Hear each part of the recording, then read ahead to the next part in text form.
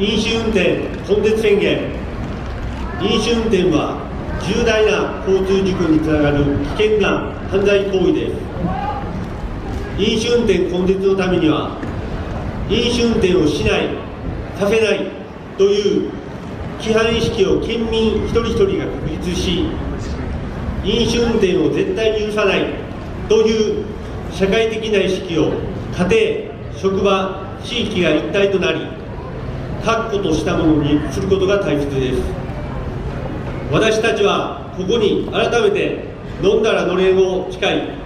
しないさせない飲酒運転を実行することを宣言します。令和元年12月15日